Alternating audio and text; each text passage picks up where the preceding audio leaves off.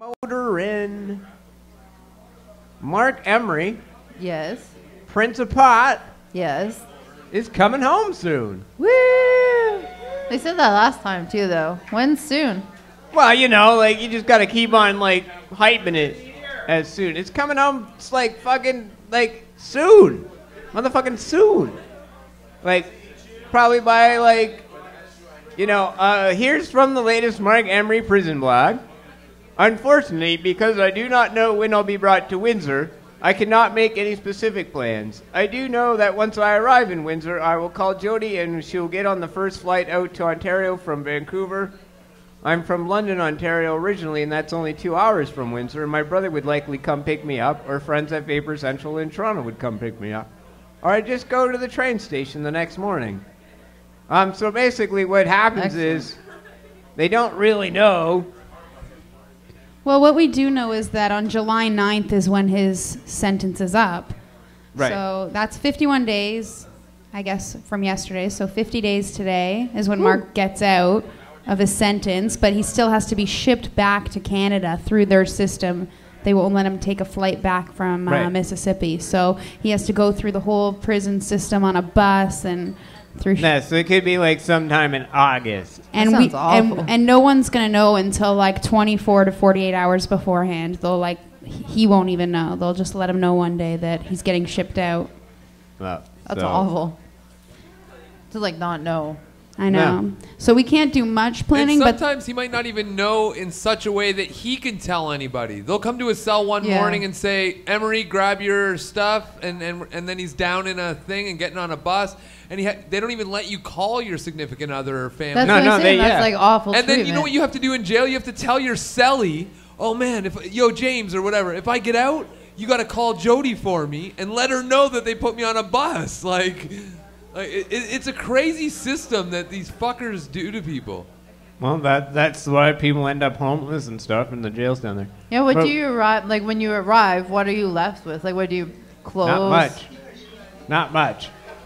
The Do you get bag of money or clothes he went anything? in with. Yeah. So a pair of pants, a shirt, a belt. But You we get can, money? you know, I think they give you twenty dollars or something, and they buy you a ticket or they do something minimal, and then Yeah. that's it. Wow.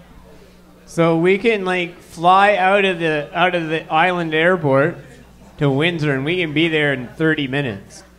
There's like Yeah. a couple flights every day out of Windsor. Yeah. So, Excellent. That's exciting. but he'll be home sooner than later. You know. Mm-hmm. So be prepared for that. That Marc Emery will be uh, returning before the end of the summer.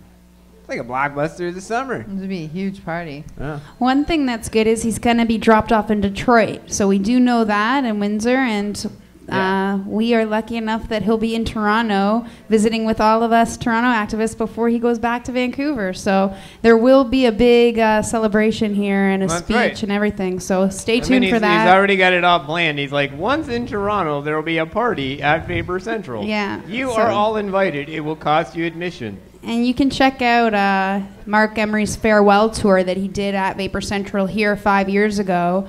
Uh, it's like an hour and a half. Video. That's an amazing speech, and it, it's really well edited online. Go to Dope Chef. Dot, go to the Dope Chef on YouTube. It's there on YouTube. Dope Chef's got that great video. And then he adds this. Maybe we can have a big party at Yonge and Dundas Square. That would be fun. What's that? Like, dude, you just asking, like, hey, but, hey, guys, you want to throw me a party at Yonge and Dundas Square? Is that what he's asking there? Because there's not a big process to go through. Well, no, not if we just show up. And then he, he mentions the same thing for the art gallery when he gets to Vancouver. So he clearly has a plan to speak to thousands of people.